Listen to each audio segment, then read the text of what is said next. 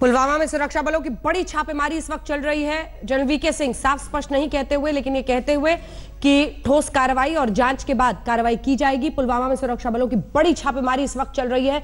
ये जो आदिल अहमद डार, जिस आत्मघाती हमलावर ने आतंकी घटना किया है, उसका गाँव, उसका घर लगभग 10-15 किलोमीटर दूर बताया जा रहा है घटनास्थल से। कई संदिग्धों की जो इस वक्त है, जाँच चल रही है। आतंकी हमले से जो कनेक्शन है, वो निकाले जा रहे हैं। सुरक्षा बलों का एक बहुत बड़ा अभियान इस पूरे पुलवामा सेक्टर में कि आखिर कैसे 200 से 300 किलो आईईडी के साथ इस शख्स ने इस घटना को अंजाम दिया और ये सब वहाँ पर करने में छिपा कर करने में वो कामयाब रहा या फिर कुछ ऐसे लोग थे जो इसका साथ दे रहे थे, साजिश का हिस्सा थे। ये छापेमारी के ज़रिए सुरक्षा बल उस पूरे इलाके में सुरक्षा अभियान के ज़रिए पता लगाने की कोशिश कर रहे हैं। इस बीच सभी खास मेहमान हमारे साथ बने हुए हैं, जिनसे हम बातचीत कर रहे हैं। आप सिंह साहब, उनकी बात पर रिएक्ट भी करना चाह रहे थे, जिसमें वो कह रहे थे कि सेना को अनुशासन में रहकर कार्रवाई करनी चाहिए। और दूसरी महत्वपूर्ण बात कि लॉजिस्टिकल सपोर्ट मतलब आसपास के गाँव, लगभग 10-15 किलोमीटर दूर पर आदिल अहमद डार का गाँव था, जिसने ये आत्मघाती हमला किया है। कौन कौन थे जो उसकी मदद कर रहे थे? ऐसा है, मैं सुशांत सरीन साहब को और चूँकि वो सिक्योरिटी विश्लेषक हैं और पूरे देश को ये आश्वस्त करना चाहता हूँ कि हमारी सिक्योरिटी फोर्सेस में डिसिप्लिन की कोई कमी नहीं है।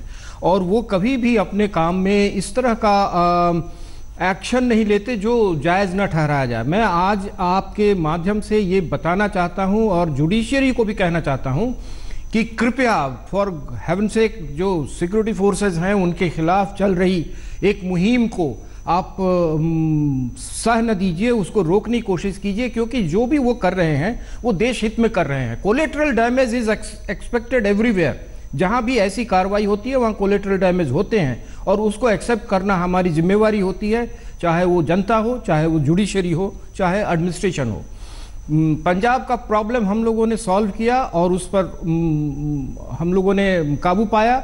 इसका ये बहुत सटीक उदाहरण है क्योंकि वहाँ पर जो सरकार थी उसने कोलेट्रल डैमेज को एक्सेप्ट किया और सिक्योरिटी फोर्सेस को फ्रीडम दिया कि वो काम करें और उन्होंने करके दिखाया। तो सुशांत सरीन साहब से मैं यही कहना चाहूँगा हाँ। कि आप आश्वस्त रहें सिक्योरिटी फोर्सेस फ्रीडम पर कभी भी कोई गलत काम करने के लिए तैयार नहीं होगी। हाँ, हाँ, और मैं एक चीज़ और कहना चाहता हूँ।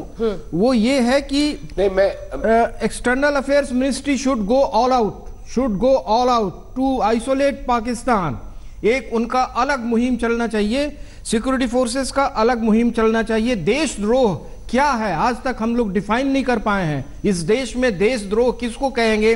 हम आज तक नहीं बता पाए हैं। दुनिया देशद्रोह कर रही है। का डेफिनेशन मैं इसमें लौटूँगी सरीन साहब आप भी बोलिएगा चलते हैं। आ, हमारे साथ श्रीनगर से हमारे सहयोगी अशरफ वानी इस वक्त जुड़ रहे हैं। अशरफ पूरे पुलवामा इलाके में सुरक्षा बल इस वक्त अभियान चला रहे हैं।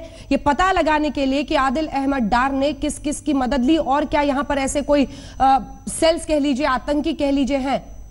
अशरफ। अंजना, दरअसल कल शाम से ही जब ये हमला हुआ था, उसके बाद लगातार पुलवामा और उसके आसपास इलाकों में पंद्रह गाँवों में सुरक्षा बलों का एक तलाशी अभियान शुरू हुआ था, क्योंकि पुलिस के पास इंटेलिजेंस डिपार्टमेंट है, सीआईडी है, कई सारी कड़ियाँ होती हैं जो पुलिस को खबर होती है। उसी के चलते जो अभी की खबर है, दो गाँवों से पाँच युवकों को गिरफ़्तार किया गया है, डिटेन किया गया है पुलिस की तरफ़ से और उनसे पूछताछ की जा रही है।